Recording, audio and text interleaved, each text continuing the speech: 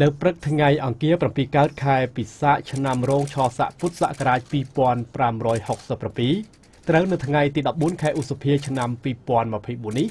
សម្ដេចអគ្គមហាសេនាបតីតេជោហ៊ុនសែនប្រធានព្រឹទ្ធសភានៃព្រះរាជាណាចក្រកម្ពុជា បានអនុញ្ញាតឲ្យលោកជំទាវភីងអែមគិតនីកូនឯកអគ្គរដ្ឋទូតនៃប្រទេសកាណាដាប្រចាំព្រះរាជាណាចក្រកម្ពុជាចូលជួបសម្ដែងការគូសំនិងពិភាក្សាការងារនៅវិមានព្រឹទ្ធសភា នៅក្នុងជំនុំនេះផងដែរសម្ដេចតេជោប្រធានព្រឹទ្ធសភាបានអបអរសាទរចំពោះលោកជំទាវដែលត្រូវបានតែងតាំងជាឯកអគ្គរដ្ឋទូតនៃប្រទេសកាណាដាប្រចាំនៅព្រះរាជាណាចក្រកម្ពុជា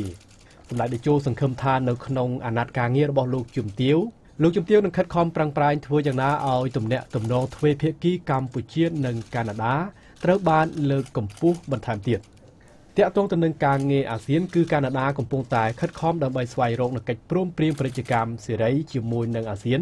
ដែលនេះនឹងផ្ដល់ផលប្រយោជន៍ទាំងអាស៊ាននិងកម្ពុជាផងដែរសម្ដេចតេជោសង្ឃឹមថាលោកជំទាវនឹងជំរុញទំនាក់ទំនងទ្វេភាគីរវាងកម្ពុជាជាមួយនឹងអាស៊ានឲ្យកាន់តែរីកចម្រើនបន្ថែមទៀត។ ជាការឆ្លើយតបលោកជំទាវអាយគ្គរដ្ឋទូតកាណាដាប្រចាំនៅព្រះរាជាណាចក្រកម្ពុជាបានសម្ដែងនៅការអរគុណចំពោះសម្ដេចតេជោដែលបានអបអរសាទរដល់លោកជំទាវដែលត្រូវបានតែងតាំងជាអាយគ្គរដ្ឋទូតកាណាដាប្រចាំព្រះរាជាណាចក្រកម្ពុជានៅពេលនេះលោកជំទាវក៏បានអបអរសាទរវិញផងដែរចំពោះសម្ដេចតេជោដែលត្រូវបានជ្រើសតាំងជាប្រធានព្រឹទ្ធសភានៃព្រះរាជាណាចក្រកម្ពុជា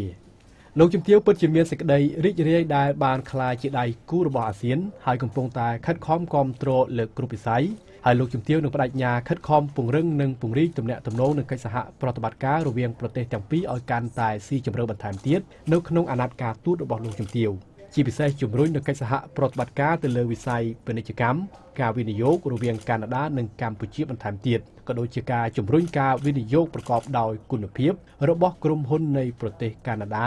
ក្នុងការវិនិយោគនៅក្នុងប្រទេសកម្ពុជាដែលកន្លងមកនេះមានក្រុមហ៊ុនជាច្រើនដូចជាធនាគារ ABA ក្រុមហ៊ុនធានារ៉ាប់រង Manulife និងក្រុមហ៊ុនផ្សេងៗជាច្រើនទៀតលោកជំទាវនឹងខិតខំដើម្បីឲ្យមានការវិវត្តរីកចម្រើនទៅលើកិច្ចសហប្រតិបត្តិការលើគ្រប់វិស័យជាពិសេសកំពុងមានកិច្ចសហប្រតិបត្តិការជាមួយនឹងធនាគារអភិវឌ្ឍអាស៊ី ADB លើការអភិវឌ្ឍវិស័យធម្មពលពន្លឺព្រះអាទិត្យសូឡាផងដែរ។សម្ដេចតេជោហ៊ុនសែនបានមានប្រសាសន៍ថាកម្ពុជានិងកាណាដាមានទំនាក់ទំនងជាយូរលង់ណាស់មកហើយពលគឺជាង70ឆ្នាំមកហើយ គឺយើងមានទំនាក់ទំនងការទូតនៅក្នុងឆ្នាំ1952មុនពេលដែលកម្ពុជាទទួលបានឯករាជ្យទៅទៀតសម្ដេចតេជោបានមានប្រសាសន៍បន្តទៀតថាកន្លងទៅនេះកម្ពុជាតែងតែវាតម្លៃខ្ពស់ចំពោះមិត្តភ័ក្តិទាំងឡាយដែលទទួលស្គាល់កម្ពុជាមុនកម្ពុជាទទួលបានឯករាជ្យដែលនេះគឺជាកត្តាក្នុងការជំរុញដំណើរការឯករាជ្យរបស់កម្ពុជា។ សម្ដេចតេជោបានមានប្រសាសន៍រំលឹកទៀតថាដែលនៅពេលនោះប្រទេសកាណាដាប្រទេសប៉ូឡូញនិងប្រទេសឥណ្ឌាគឺជាសមាជិកនៃគណៈកម្មការត្រួតពិនិត្យនៃការផ្ដល់ឯករាជ្យភាពដល់កម្ពុជាសម្ដេចតេជោបានសម្ដែងនៅក្តីរីករាយផងដែរដែលបានឃើញទំហំពាណិជ្ជកម្មរវាងប្រទេសទាំងពីរមានការវិវត្តមានស្ថិរភាពបើទោះបីជាយើងមានបញ្ហាប្រឈមកន្លងទៅដូចជាបញ្ហា COVID-19 បញ្ហាភូមិសាស្ត្រនយោបាយក៏ទំហំពាណិជ្ជកម្មមិនមានការប្រែប្រួលខ្លាំងនោះទេ ជាមួយគ្នានឹងផងដែរសម្ដេចតេជោក៏បានកោតសរសើរចំពោះធនាគារ ABA ដែលបានចូលរួមចំណែកក្នុងការជំរុញវិស័យពាណិជ្ជកម្ម Digital នៅកម្ពុជា ដែលកំពុងពេញនិយមសម្រាប់ប្រជាពលរដ្ឋកម្ពុជាក្នុងការទូទាត់ទំនិញផ្សេងៗឬការចាយវាយប្រាក់កាសផ្សេងៗតាមប្រព័ន្ធអេឡិចត្រូនិកនេះសម្ដេចតេជោបានមានប្រសាសន៍រំលឹកថាកាលពីឆ្នាំ2022នៅពេលដែលកម្ពុជាធ្វើជាប្រធានអាស៊ាន សម្ដេចក៏បានជួបពិភាក្សាការងារជាមួយនឹងនាយករដ្ឋមន្ត្រីនៃប្រទេសកាណាដាផងដែរនៅភ្នំពេញហើយយើងបានជជែកពិភាក្សាលើកិច្ចសហប្រតិបត្តិការនានារួមទាំងការងារអាស៊ាននិងទ្វេភាគី ដែលប្រទេសកាណាដាគឺជាប្រទេសនាំមុខមួយក្នុងការគ្រប់គ្រងកម្ពុជាគ្មានមានឆ្នាំ2025ហើយសម្ដេចបានធ្វើការអំពាវនាវឲ្យប្រទេសកាណាដា បន្តគាំទ្រដល់កម្ពុជាទៀតដែលអតីតកាលកម្ពុជាបានឆ្លងកាត់នៅសង្គ្រាមដែលបន្សល់ទុកនៅក្របមីននិងក្របមិនទាន់ផ្ទុះជាច្រើនដែលត្រូវដោះស្រាយជាបន្តបន្ទាប់ជាពិសេសឆ្នាំនេះកម្ពុជានឹងធ្វើជាម្ចាស់ផ្ទះនៃអនុសញ្ញាអូតាវ៉ាហើយសម្ដេចតេជោក៏សូមឲ្យកាណាដាជួយគាំទ្រក្នុងការរៀបចំដំណើរការនៃកិច្ចប្រជុំនោះផងដែរ។ សម្ដេចតេជោនិងលោកជំទាវអាយគ្គរដ្ឋទូតកាណាដាក៏បានពិភាក្សាគ្នាផងដែរទៅលើទស្សនៈយុទ្ធសាស្ត្រអនុប៉ាស៊ីហ្វិកដោយសម្ដេចតេជោបានមានប្រសាសន៍ថាប្រទេសជាច្រើនសុទ្ធតែមានយុទ្ធសាស្ត្ររបស់ខ្លួនក្នុងតំបន់អនុប៉ាស៊ីហ្វិកនេះ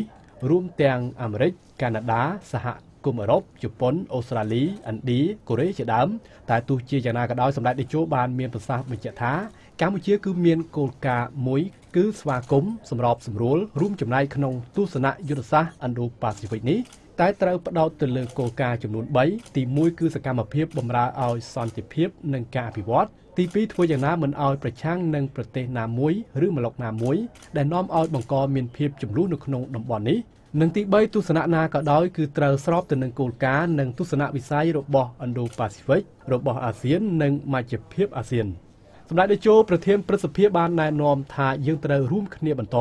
នៅអ្វីដែលយើងអាចធ្វើបានដើម្បីបន្តឲ្យមានភាពរីកចម្រើនបន្តទៀតជាពិសេសជំរុញវិស័យពាណិជ្ជកម្មការវិនិយោគនិងកិច្ចសហប្រតិបត្តិការដែលមានផលប្រយោជន៍ទៅវិញទៅមក លោកជំទាវឯកអគ្គរដ្ឋទូតកាណាដាក៏បានវាតម្លៃខ្ពស់ចំពោះប្រសាសន៍របស់សម្ដេចតេជោ